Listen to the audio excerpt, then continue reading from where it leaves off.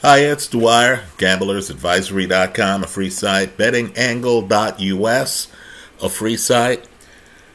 Let's talk about week seven of the National Football League. We're coming off a three and one week. We're in the saddle here. Let's try to stay in the saddle. Uh, but first, remember the opinion you should follow should be your own. Just consider this video to be a second opinion from a complete stranger online let me also uh, make the point that these are very early lines. The Monday night football game hasn't been played yet, right? The reason why we're grabbing these lines is because I believe these games are mispriced. Maybe, depending on how things break, later in the week I'll do an updated video. But I believe all three of these games represent compelling value. The first game is Green Bay at home, laying two and a half points over the Houston Texans. Right, folks? Houston's offense still has me concerned. Green Bay, which was missing their quarterback for some of the games earlier this year, is loaded.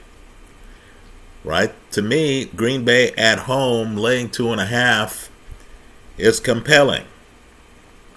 The next game the Saints at home, laying a point over a rookie quarterback with a great defense, and that's Bo Nix and the Denver Broncos.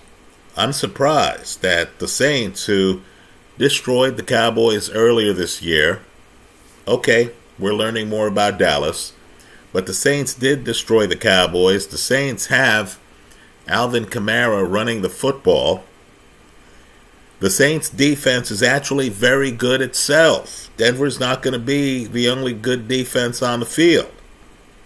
And of course, for all the problems Derek Carr has had, he's still a veteran quarterback with much more experience than Bo Nix, who has had a problem scoring early in games.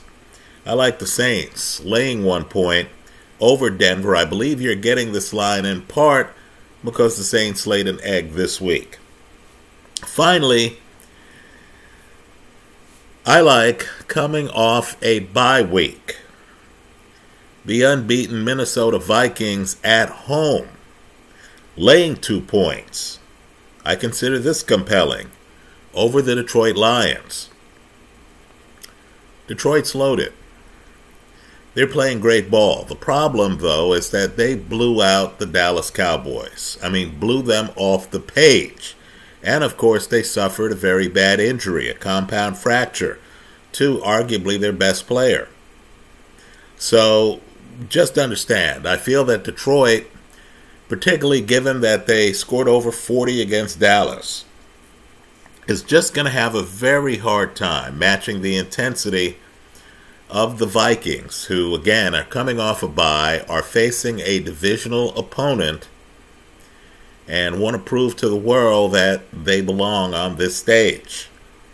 I like the Vikings laying two at home over the Detroit Lions. Those are the plays I like. Let me hear your ideas and your critique in the comment section of this YouTube video. Thanks for stopping by.